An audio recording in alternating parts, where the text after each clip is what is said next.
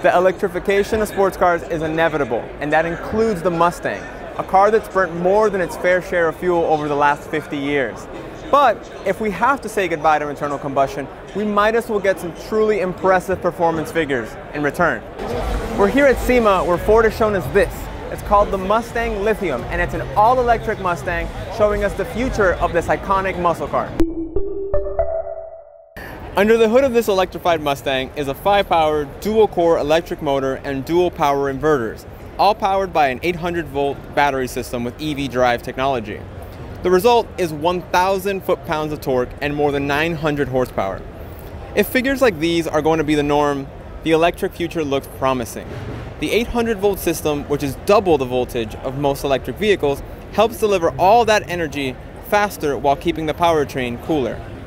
Unlike other electric vehicles with one or two speed transmissions, the Mustang Lithium has a six speed Getrag MT82 manual transmission with reinforced internals to support that huge amount of torque.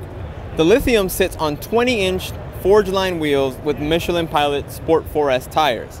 Additionally, the Lithium includes extras such as panels made of carbon fiber and parts from other models such as the Ford Performance Track Handling Pack and the Brembo 6-piston front brakes from the Shelby GT350R.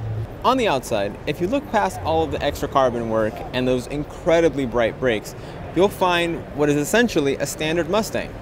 Like most other EVs, there's no need for extra intakes, meaning that you retain that classically beautiful shape from the iconic muscle car. You get the looks with the added benefit of that insane electric powertrain. Ford's attempt at creating an all-electric Mustang with the enjoyment of a six-speed manual transmission is just plain cool. And this is definitely one of the first times we've ever seen it being done. Now, trust us, the irony is not lost on us. You're taking old technology and marrying it with something new, but that doesn't stop us from loving it.